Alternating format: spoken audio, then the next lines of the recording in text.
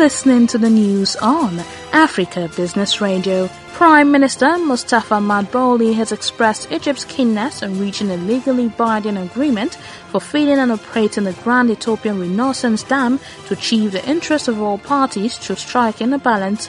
Madbouli says Egypt showed interest in resuming negotiations at the nearest chance with the aim of finding solutions to points of technical and legal differences and finding a fair and balanced agreement taking into consideration Egypt's water scarcity and independence on the Nile as a main water resource. He says that Egypt always gives priority to achieving development in Nile basin countries, so it offered assistance to sisterly countries to provide stability for their peoples. That was the news at this time on Africa Business Radio.